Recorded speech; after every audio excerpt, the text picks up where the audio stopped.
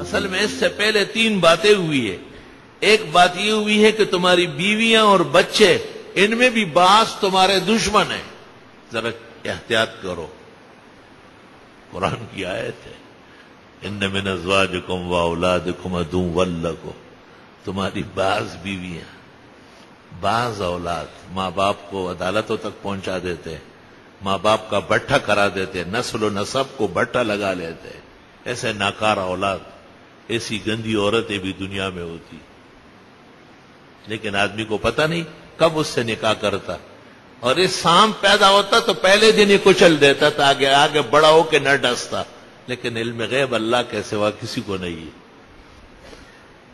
तो उसके बाद तीन बातें हो गई, बाज बीवियाँ, बाज औलाद, तुम्हारे दुश्मन है बथवाएँ इनसे बचो।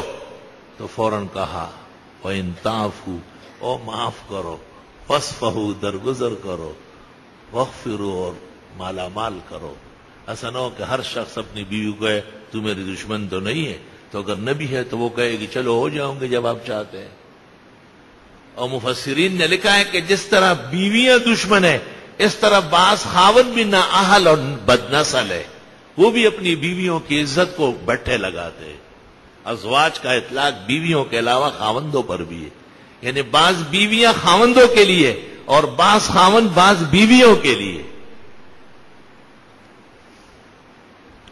ये भी मुमकिन है कि जिस तरह औलाद बाज दुश्मन है बाज माँ बाप भी दुश्मन है।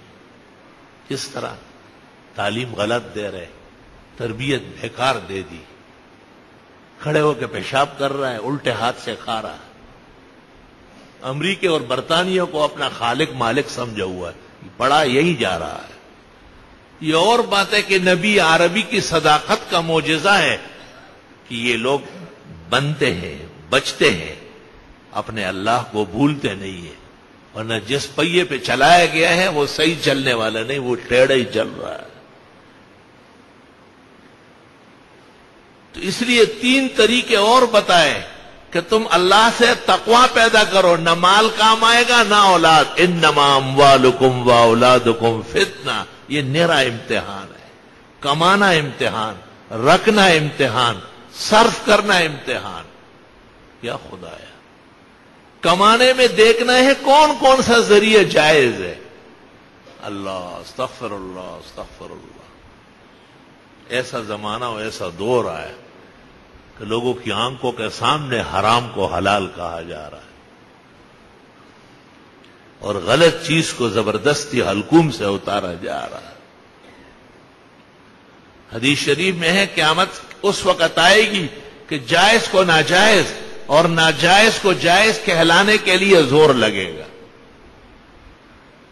तो क्या मत समझ लो, ला तकूम सा हत्ता योरफल मारूफ मुनकरन। वल करो मारूफा तो माल कमाना, माल रखना खतरा, परेशानी। रास्ते बदमन। ओह, अब तो वो फितरे और जक़ात में भी शरीक पैदा हो गए, ठेकेदार पैदा हो